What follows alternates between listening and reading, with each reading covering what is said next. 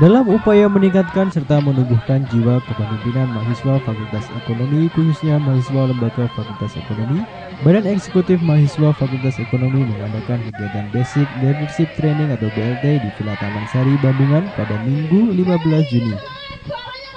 Kegiatan BLT ini adalah kegiatan rutin tahunan BEM Fakultas Ekonomi yang bertujuan untuk mendidik generasi penerus dari lembaga Fakultas Ekonomi Unisula. Kegiatan Basic Leadership Training ini mengundang motivator dari training center yang sangat berkompeten yaitu Dutria Bayu Adi. Dalam kesempatannya, Dutria Bayu menjelaskan tentang kepemimpinan.